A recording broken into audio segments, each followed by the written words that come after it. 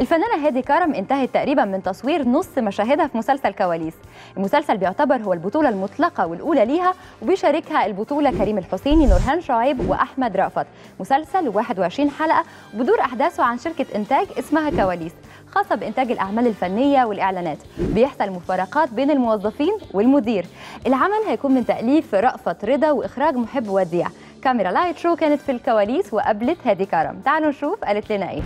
قابلنا هيدي في كواليس العمل اللي اتكلمت عنه وقالت كواليس مسلسل اجتماعي بسيط جدا في أفكاره بي- بيخش البيوت المصرية وبيعيش قصص حياتية حقيقية. وعن شخصية سهيلة اللي بتقدمها في العمل. سهيلة هي سنجل ماذر أو أم عايشة لوحدها مطلقة عندها ولد وبنت عايشة مع والدتها متحملة مسؤولية ولادها في تربيتهم. هي فيها من شخصيتي آه هي يعني هي هي مديره مديرة الشركة فهي شخصية إدارية و وعندها كتير من ال- من المشاعر الإنسانية للآخرين جواها. وانتهزنا الفرصة وسألناها كمان عن علاقتها بابنها وعن زواجها في سن مبكر. ابني عنده 20 سنة فما بنمشي جنب بعض بيبقى شكلنا مضحك شوية. أنا جوزت صغيرة وخلفت صغيرة ودي حاجة يعني أنا بسعد بيها جدا. أنا عندي صديقاتي لسه عندهم ولاد ست سنين وسبع سنين وكده.